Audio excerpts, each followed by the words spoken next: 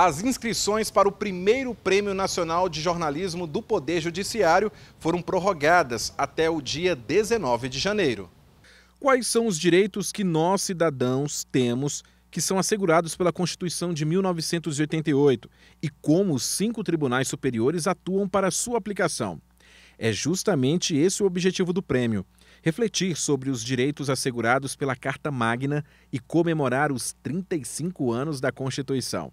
O primeiro Prêmio Nacional de Jornalismo do Poder Judiciário é uma iniciativa inédita do STF, TST, TSE, STJ e STM. Os interessados podem inscrever trabalhos em quatro categorias: texto, vídeo, áudio e foto. E não precisam necessariamente tratar de uma decisão judicial, mas de algum direito previsto na Constituição que esteja dentro do escopo de atuação de um dos tribunais. Podem ser inscritos trabalhos veiculados de 8 de janeiro de 2023 a 8 de janeiro de 2024. A entrega do prêmio ocorrerá no dia 24 de abril, em cerimônia na sede do Superior Tribunal de Justiça.